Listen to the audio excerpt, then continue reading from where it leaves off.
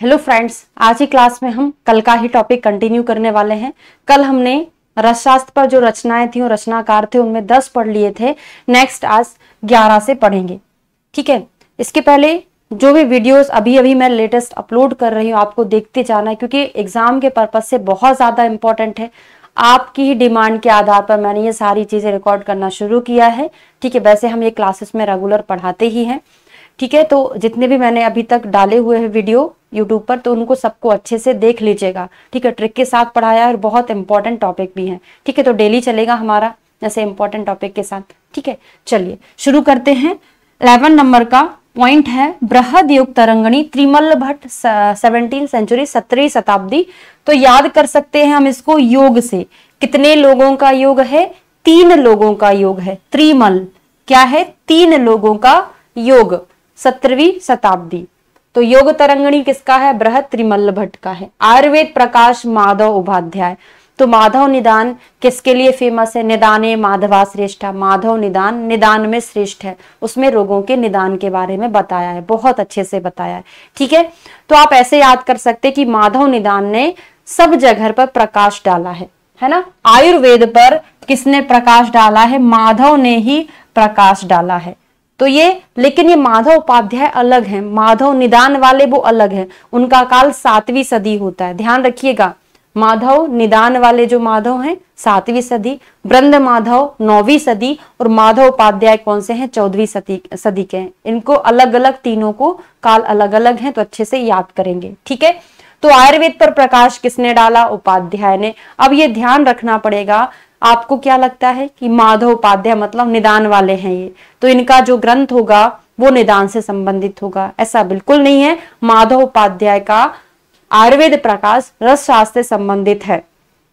ठीक है? भैषज रत्नावली गोविंद दास सेन बड़ा फ़ेमस है। इनको तो याद कराने की ज़रूरत नहीं है। कई बार क्वेश्चन एग्ज़ाम में पूछा भी गया है। तो भैषज रत्नावली के लेखक गोविंद दास सेन है। काल है अठारहवीं सदी। काल भी इनका बहुत इंपॉर्टेंट है। ठीक है? सिद्ध भैसज मणिमाला श्री राम कृष्ण राम भट्ट। तो हम जो मणिमाला पहनाते हैं, मणिया माला, किसको पहनाते? भगवान जी को पहनाते। किसको पहना रहे हैं? कृष्ण और राम भगवान को पहना रहे हैं। गोपाल कृष्ण नहीं है। गोपाल कृष्ण मैंने कल की क्लास में पढ़ाया था, अब आपको देखना है किसमें था। और श्री राम कृष्ण को हम मणिमाला पहनाते हैं। काल याद कर लीजिएगा। रसामृत द्रव्य गुण विज्ञान, दो भाग में, और आयुर्वेद व्याधि विज्ञान। है ना? ये तीन प्रकार और भी इनके कई बुक हैं। अभी लेटेस्ट में ऐसा क्वेश्चन भी पूछा गया था कि निम्न में से कौन सी यादव जी त्रिकम जी की बुक नहीं है तो आपको याद रखना पड़ेगा। है ना? दो चार और हैं, आप लिख लीजिएगा। तो यादव जी त्रिक्रम जी ऐसा लगता है ना कि दो दो नाम है। यादव जी त्रिक्रम जी द्रव्य विज्ञान को दो पार्ट में इनने लिखा है और प्रियवत शर्मा ने क्या लिखा है? पाँच पार्ट में लिखा। शायद वो छूट गए यहाँ पे। प्रियवत शर्मा लिख लिख नहीं पाई हूँ मैं तो आप लिख लीजिएगा द्रवगुण विज्ञान के पाँच भागों में किसने लिखा है? प्रियवत शर्मा, और इसका, इनका काल कितना है? वही बीसवीं सदी है। है ना? तो यादव जी त्रिक्रम जी का भी बीसवीं सदी प्रियवत शर्मा का बीसवीं सदी, इनके पाँच है। तो प्रिय में पा है, पा से पाँच याद कर लेना, इनके दो नाम है तो दो याद हो जाएगा। ठीक है? रस तरंगणी सदानंद शर्मा, ये भी कई बार पूछा है। तो 20 साल के जब बच्चे होते तो उनके हृदय में आनंद की तरंगे उठती हैं। इक्कीस का होने वाला हूँ, मेरी शादी होने वाली है। इक्कीस आइडियल एज होती है ना है ना? तो 20 साल में उसको तरंगे उठने लगती आनंद की। तो 20 साल में आनंद की तरंगे, रस तरंगणी सदानंद शर्मा की है। पारद संहिता, निरंजन गुप्त। तो पारद क्या है? गुप्त, बोलते ना कि पारद का गुप्त दान वगैरह, कुछ पूजा वगैरह होती है ना, पारद रसशास्त्र में आपने पढ़ा होगा तो ऐसे याद कर सकते हो, निरंजन गुप्त की है। ठीक है? रस चूड़ामणि तो मैंने आपको बोला था अच्छे से याद रखना। रसेंद्र चूड़ामणि किसका था? सोमदेव का। सोमवार में शंकर जी का व्रत करते हैं तो केवल रस चूड़ामणि आ जाएगा तो शंकर का हो गया। रस चूड़ामणि शंकर का, रसेंद्र चूड़ामणि सोमदेव का है।